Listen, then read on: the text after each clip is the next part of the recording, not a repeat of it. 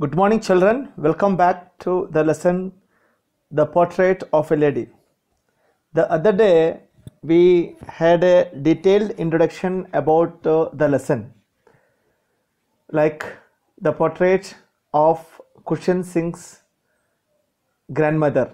A detailed description of a person is called portrait, and uh, we have come across uh, the detail about the grandmother that uh, once she was uh, young and pretty and had her husband and children okay and uh, her physical appearance now at present that she was fat and uh, slightly bent and uh, faced with the crisscross of wrinkle, wrinkles running from everywhere to everywhere.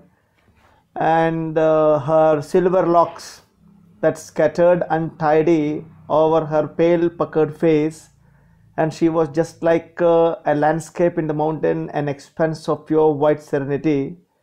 And how she made ready the boy Khushwant for schooling. And uh, thus uh, making Khushwant to have a bath. And uh, getting ready his uh, slate pencil pen ink bottle etc and she would provide boy Khushwant the breakfast uh, like stale chapatis and she would also carry many such stale chapatis along with her for the village dogs. Here we stopped and now let us continue. We are at page number 2 okay all of you take page number 2 yeah.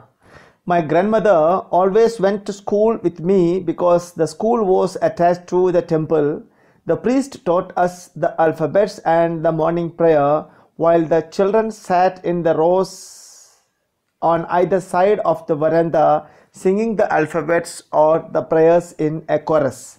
My grandmother sat inside reading the scriptures. When we had both finished, we would walk back together.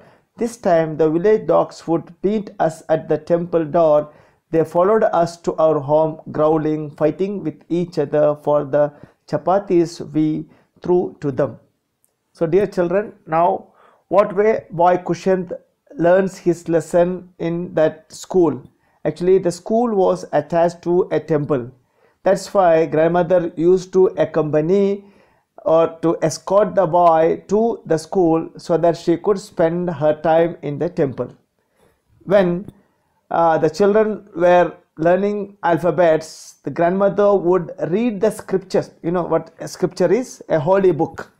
Like, for example, for uh, Hindus, Mahabharata, Ramayana, and for the uh, Christians, the Bible, and for the Muslim, the Quran, the so goes. Okay, the scriptures. She would read the scriptures in the temple, and when both were finished doing the work, they would come back to their home and on the way many village dogs would be there and grandmother would feed them the stale chapatis okay? When my parents were comfortably settled in the city they sent for us what is sent for us? Called for us. Uh, actually once uh, the parents got settled in the city they made a call to uh, the author and his grandmother to be readjusted there in the city. That was a turning point in our friendship. Okay, turning point. A sudden change of uh, event is called turning point here. A turning point in our friendship. Although we shared the same room, my grandmother no longer came to school with me. I used to go to an English school in a motor bus. There were no dogs in the street, and she took to feeding sparrows in the courtyard of our city house. So there was a turning point, sudden change in the relationship with the author and uh, his grandmother. Why? Because when the boy was taken to city, there were no more village school available. So he was admitted in an English school where he would go uh, by motor bus. In the village, both grandmother and author would walk to the school. Here walking is not possible. So the child was taken in a motor bus. So the grandmother stopped escorting him to the school. And there were no dogs for the old lady to feed. So she now started feeding the sparrows that would come in the city house. As the years rolled by we saw less of each other. For some time she continued to wake me up and get me ready for the school. When i came back she would ask me what the teacher had taught me i would tell her english words and little things of western science and learning the law of gravity, Archimedes' principle, the world being round, etc. This made her unhappy. She could not help me with my lessons. She did not believe in the things they taught at the English school and was distressed, disappointed that there was no teaching about God and the scriptures. One day I announced that we were being given music lessons. She was very disturbed to her music had lewd association. It was the monopoly of harlots and beggars and not meant for gentlefolk. She said nothing but her silence meant disapproval. She rarely talked to me after that. One day, Arthur, uh, after coming back from his English school, he narrated uh, his uh, grandmother about uh, what he studied at the school.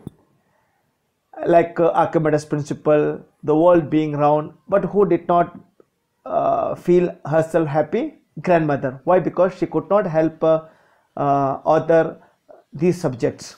Actually she wanted other learn something about god and the scriptures and one day when Arthur said he started learning western music Actually, according to her, this Western music is meant for only the harlots and beggars. Harlot, you know, prostitutes. Harlots and uh, uh, lewd. What is the word meaning lewd? Okay, children, here are some difficult word for you. Beggar, you know, who is a beggar. Harlots, prostitute, bad ladies. Okay, uh, you might have seen in movies and all the western music is played uh, for cabaret music and all you you know it. And lewd association. Lewd here means disapproving of behavior speech or dress etc okay. The music had bad association with people like harlots and beggars. That's why the old lady the gentle lady did not like this uh, western music. She had she said nothing but her silence meant disapproval she rarely talked to the other after that okay that's the thing so when I went next paragraph, when I went up to university, I was given a room of my own. The common link of friendship was snapped, cut and separated. That is snapped. My grandmother accepted her seclusion. What is seclusion? Uh, loneliness with resignation, with silence. She is totally detached from the material world now. She has uh, totally snapped the relation of the other. Why? Because other went to study in the university. She rarely left her spinning wheel to talk to anyone from sunrise to sunset. The, she sat by her wheel spinning and reciting prayers. Only in the afternoon she relaxed for a while to feed the sparrows. While she sat on the veranda breaking the bread into little bits, hundreds of little birds collected round her creating a veritable bedlam of chirruping. Some came and perched on her legs, others on her shoulders. Some even sat on her head. She smiled but never shooed them away. It used to be the happiest half an hour of, uh, uh, of the day of her. So once uh, when the author went to the university for his higher studies, the relation, the common link of friendship was totally snapped, cut into two parts. Okay? And grandmother accepted her uh, lonely life with resignation a total dedication to that uh, spinning. She used to spend her time spinning the wheel. You may have seen uh, that mahatma gandhi is sitting with the spinning wheel okay? And many farmers uh, sitting with the spinning wheels okay weavers sitting with the spinning wheel. Like that she started uh, spending her time with the spinning wheels. And uh, from sunrise to sunset she would do that. But in between a half an hour she would spend feeding the sparrows. Those sparrows coming to her city house. And some of them would uh, sit on her head. Perching. Perching means seated. Perched. Seated on her legs. Okay? Uh, what is veritable? Something interesting. Veritable means something interesting. A bedlam a noisy disorder. Bedlam you can write down.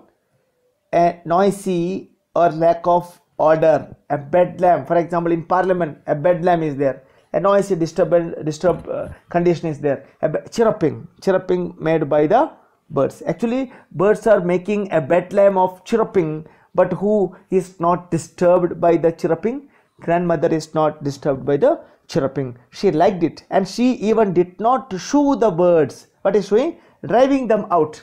Shooing. You very much shoo some birds or a dog, shooing them out. But who is not ready to shoo the birds out? Grandmother. Because she liked the company of those birds and even it had the guts to sit on her uh, legs, on her shoulder, on her head and no birds will sit on you you children. No bird will come and sit on your head. You are very cruel. But here grandmother is very friendly with those words sparrows. And that was the happiest half an hour of the day of for her. Is it clear? Now the next paragraph.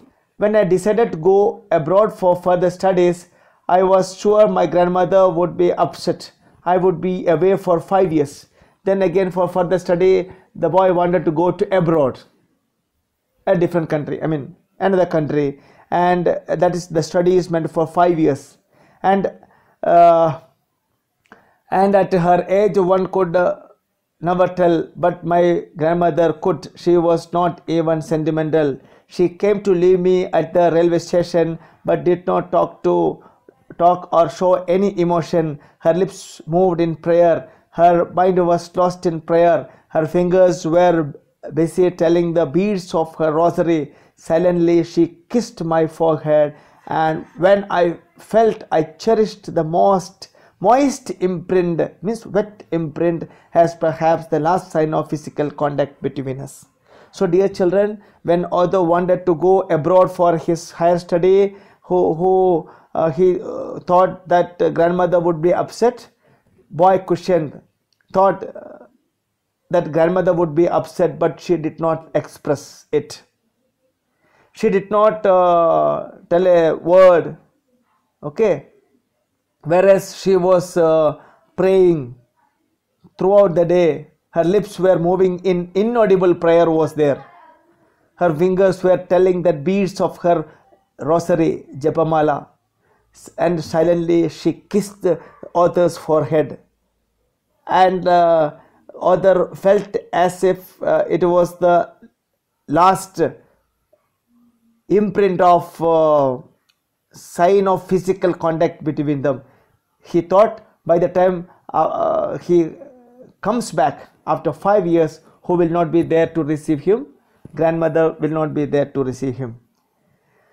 But that was not so after five years i came back home and was met uh, by her at the railway station. She was there to receive uh, Otho even after that five years uh, gap. She did not look a day older. She was uh, as uh, same as she was five years uh, ago. She still had no time for words.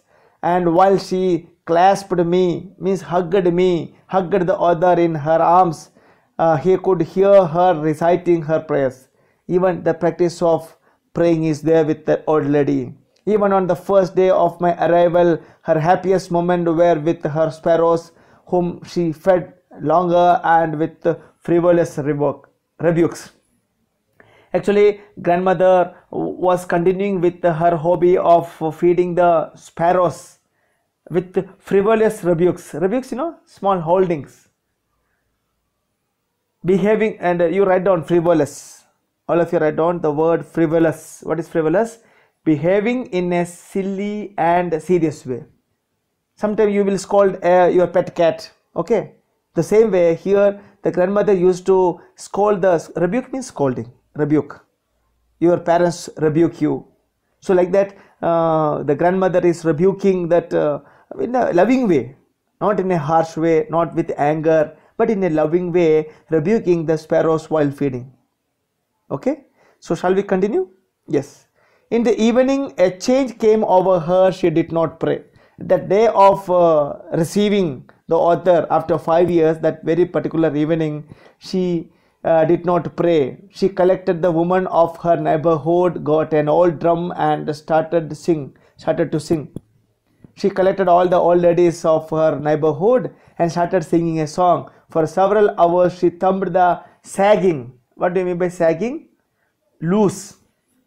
To drop down to a lower level in the middle. Actually, here the drum, the drum is there. One all drum is there. The middle of it has become low. Why? Because it has become very old the sagging skin of the dilapidated what is dilapidated almost very old. Okay. For example very old car dilapidated car dilapidated building you know like that. So the very old drum and sang. Oh, and sang of the homecoming of various like that uh, warriors coming after a war. People will uh, give a homecoming party. The same way, when the author came after five years study, the grandmother wanted to enjoy or to celebrate his homecoming. We had to persuade her to stop to avoid overstudying. Everybody in the family persuaded her, and asked her to stop avoiding overstudying, and that was the first time since I had known her that she did not pray. That is the only time or only day she did not pray. Why? Why? Because she was uh, playing the drum, celebrating the homecoming of the author. Okay. The next morning she was taken ill. It was a mild fever and the doctor told us that it would go, but my grandmother thought differently. She told us that her end was dear. She uh, took it in a different way. What did the doctor say when she was taken the very next day? Doctor said the fever would go, but she thought she would go. She would die. She said uh, that since only a few hours before the close of the last chapter of her life, she had omitted to pray, means avoided to pray. She was not going to waste any more time talking to us. We protested, but uh, actually, uh, when the doctor said uh, that uh, fever would go, she heard that she would go, so she stopped praying and she was in seclusion. She was in a total resignation that uh, she is going to accept death. We protested, but uh, she ignored our protest. She lay peacefully in bed, praying and telling her beads. The final attempt of praying and telling the beads even before we could suspect, her lips stopped moving and the rosary fell from her lifeless fingers. A peaceful pallor spread on her face, and we knew that she was dead. Okay, children, what is pallor here? The state of being very pale. Pallor. Pale expression of face. Because once a person die, the face become pallor. Pallor means the state of being very pale. And finally, who died? Grandmother died. How did she die? Praying and telling her beads. And finally, when life went out of her body, uh, uh, her rosary fell. Japamala fell from her hand, lifeless fingers. We lifted her off uh, the bed and, as is customary, laid her on the ground and covered her with a red shroud. Okay it is a customary practice or a regular practice that uh, when a person dies and the body will be covered with a red color shroud. Shroud is a cloth used for covering the dead body. You know what is shroud? Shroud is a cloth used to cover the dead body after a few hours of mourning. What is mourning? Lamenting. Lamenting we left her alone to make arrangement for her funeral. In the evening we went to her room with a crude uh, structure. You know the structure is there made of uh, sticks so that uh, the dead body can be taken to the place of cremation. Cremation you know burning of dead body.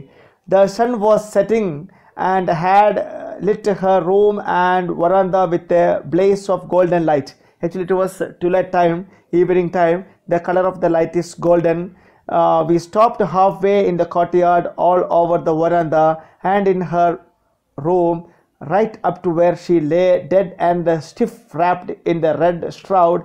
Thousands of sparrows, you children, you note down. Thousands of sparrows sat scattered, spread on the floor. There were no chirruping. Birds were not chirruping like other days. Why? Because they were expressing sorrow, they were expressing condolence. We felt sorry for the bird, and my mother fetched some bread. But mother thought they wanted to eat some uh, bread pieces, so mother brought some uh, bread pieces and broke into little crumbs pieces. And uh, uh, the way my grandmother used to do, she threw those things. The sparrows took no notice of the bread when we carried my grandmother's corpse, corpse, you know, dead body of corpse, there are two words. One is with E, corpse means dead body. Another one without E is shows uh, military personnel, corpse, cadet corpse, NCC corpse, like that. They flew, they flew away quietly. All the birds or the sparrows flew away quietly without making a noise quietly Next morning, the sweeper swept the bread crumbs into the dustbin. Actually, here is a question How did the sparrows express their condolence? The sparrows expressed their condolence by arriving in large number without making a noise or chirruping and even not eating the bread crumbs which were thrown by the other's mother. Okay, children? That way they express their condolence over the death of the grandmother. So that, that the story is over now you can see there are different stages of life. First the stage that uh, the village setting the author and grandmother going to the village school. The second stage is at city where the uh, boy started going to English school. Then fourth is that he studied at university and finally he went to abroad. So like the four five stages are there so children, all of you make a thorough reading and before we conclude, let us uh, make a recap of what you have learned for the day.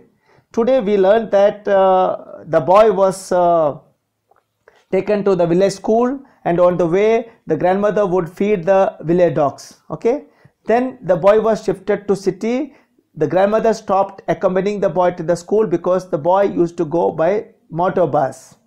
And when the boy wanted to study in the university the total friendship was snapped. And grandmother resorted to feeding the sparrows half an hour and the whole other the the whole day she would spin the wheel. And half an hour she would spend for feeding the sparrows. That was the happiest half an hour for her. Okay uh, happiest of her and she would even talk to uh, the sparrows rebuking them and uh, when Arthur went to study abroad for five years, he thought that uh, he uh, could never see grandmother again.